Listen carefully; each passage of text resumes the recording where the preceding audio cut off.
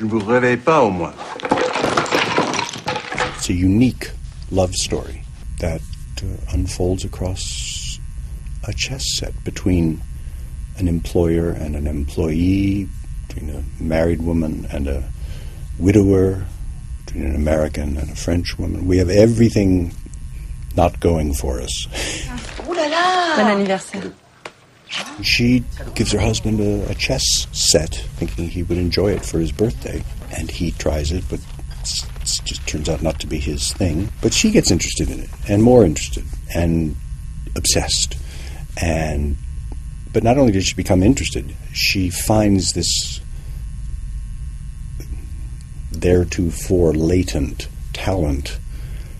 Uh, she has a real, she's really good at it. Vous y jouez Si je joue aux échecs, But my character is a misanthropic, reclusive, slightly dangerous. There's the rumors in town that he helped his wife commit suicide.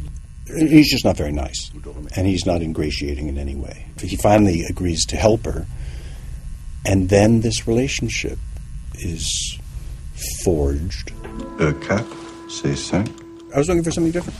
And I thought just speaking a different language. I mean, the character himself is word all in English. He still is a different sort of character than I've played. But the language itself, I, I knew would make it different. And when I saw the film, I went, yeah, it's not the same old thing, it's something different.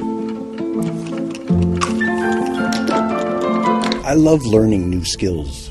If there a movie, oh, well, you have to ride a horse, you know, standing up, or you have to ride a horse while you're firing a rifle, or you have to learn how to drive a car fast, or speak French, or play chess. So I learned. I really um, brought my French speaking up several notches, and um, learned a lot about chess.